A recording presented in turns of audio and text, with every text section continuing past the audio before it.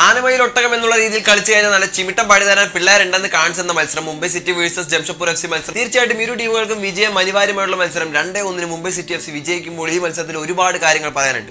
ആറാം മിനിറ്റിൽ ഫറൂഖ് ചൗധരി എന്ന് പറയുന്ന പ്ലെയറിനെ ഫൗൾ ഇട്ടതുകൊണ്ട് തന്നെ ഒരു പെനാൽറ്റി ലഭിക്കുന്നു. അതുകൊണ്ട് തന്നെ അമരീന്ദർ സിംഗ് എന്ന് പറയുന്ന ഗോൾ കീപ്പർ ആദ്യം പരീക്ഷിക്കുന്നത് അക്കോസ്റ്റ എന്ന് പറയുന്ന ജംഷഡ്പൂർ താരമാണ് അദ്ദേഹം. മനോഹരമായിട്ട് തന്നെ ആ ഒരു ഗോൾ നേടുന്നു. ആറാം മിനിറ്റിൽ ആ ഒരു ഗോളിന് ശേഷം ഒരു തരത്തിലും ഒരു പെർസെന്റേജ് പോലും അഡ്വാന്റേജ് എടുക്കാൻ ജംഷഡ്പൂരിന് സാധിച്ചില്ല എന്നുള്ളതാണ് ഏറ്റവും വലിയ ഡീമിനിറ്റ് ആയിട്ട് ഒരു പോയിന്റ് എന്ന് പറയുന്നത്.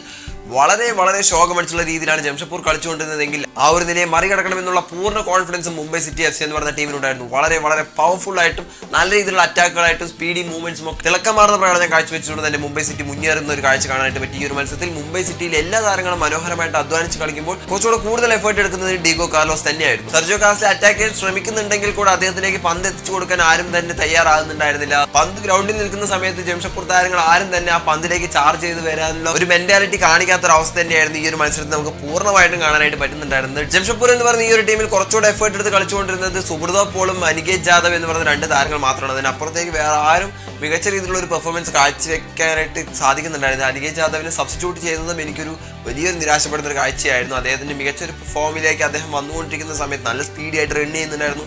കുറച്ചൊക്കെ പാസുകളൊക്കെ കൊടുക്കുന്നുണ്ടായിരുന്നു ക്രോസ് കൊടുക്കുന്നുണ്ടായിരുന്നു. പക്ഷെ അദ്ദേഹത്തെ സബ്സ്റ്റിറ്റ്യൂട്ട് ചെയ്യുന്നു. അത് തന്നെ ഒരു വലിയ ബാഡ് ഡിസിഷൻ തന്നെയാണ്. രണ്ടാം പകുതിയിലോട്ട് വരുമ്പോൾ മുംബൈ ഒരുപാട് ചർച്ചകൾക്ക് ശേഷമാണ് ഇറങ്ങിയിട്ടുള്ളത് എന്നുള്ള കാര്യം നമുക്ക് പൂർണമായിട്ടും വ്യക്തമായിരുന്നു എന്തായാലും സർജി കെവിൻ എന്ന് പറയുന്ന താരത്തെ സബ്സ്റ്റിറ്റ്യൂട്ട് ചെയ്ത് ഇറക്കുന്നുണ്ടായിരുന്നു. അറുപതാം മിനിറ്റിൽ ഒരു കോർണർ വരുന്നു. ആ കോർണർ എടുക്കുന്ന ഡിഗോ കാർലോസ് ആണ് ഡിഗോ കാർലോസ് കൊടുത്തുവിട്ട ആ പന്ത് ഷെർമിതിലൂടെ ഒരു ഹെഡർ ഒരു മാസ്റ്റർ കിഡിലൻ ഹെഡർ ആ ഷോട്ട് ബാറിൽ തട്ടി ഗോളാവുന്ന ഒരു കാഴ്ച. ഒരു ഗോളിന് ശേഷം വീണ്ടും മുംബൈ സിറ്റി താരങ്ങൾക്ക് കുറച്ച് കോൺഫിഡൻസ് ഗെയിൻ ചെയ്യുന്നു. ഷർമിദിയുടെ ബൈസൈക്കിൾ കിക്ക് ഷോട്ടുകളൊക്കെ കാണാനായിട്ട് പറ്റി. പക്ഷേ ഗോളുകൾ മാത്രം വീണ്ടും വീണ്ടും ആകുന്നു ഒന്നേ ഒന്നേ എന്ന് പറഞ്ഞ നിലയിൽ കളി ഇങ്ങനെ പോയിക്കൊണ്ടിരിക്കുന്ന സമയത്താണ് നമ്മുടെ സർജയ് കെവിന് പരിക്ക് പറ്റി അദ്ദേഹത്തെ സബ്സ്റ്റിറ്റ്യൂട്ട് ചെയ്യുന്നത്. സർജയ് കെവിന് പകരമായിട്ട് വരുന്നത് വിദ്യാനന്ദ സിംഗ് ആണ് ആ താരത്തിന്റെ ഒരു ഗോൾഡൻ സബ്സ്റ്റിറ്റ്യൂഷൻ മോമെന്റ് എന്നൊക്കെ തീർച്ചയായിട്ടും പറയാൻ പറ്റുന്ന ഒരു അവസ്ഥ തന്നെയാണ്. പകരക്കാരനായിട്ട് ഇറങ്ങിയ വിദ്യാനന്ദ സിംഗിന് തൊണ്ണൂറ്റി രണ്ടാം മിനിറ്റ് അതായത് കളിയുടെ അവസാന മിനിറ്റുകൾ ഇഞ്ചുറി ടൈമിൽ ഒരു അവസരം കിട്ടുന്ന ഒരു ബോക്സിന് പുറത്ത് നിന്നും അദ്ദേഹം ഒരു ഷോട്ട് ഉതിർക്കുന്നു. അത് ഗോൾ ആവുന്നു. രണ്ടേ ഒന്ന് എന്ന് പറഞ്ഞ നിലയിൽ കളി എത്തിച്ചുകൊണ്ട് മുംബൈ സിറ്റി അവസാനം അവരുടെ കയ്യിൽ കളിയെ കൊണ്ട് എത്തിച്ച് വിജയ കുതിപ്പ് തുടരുന്നു.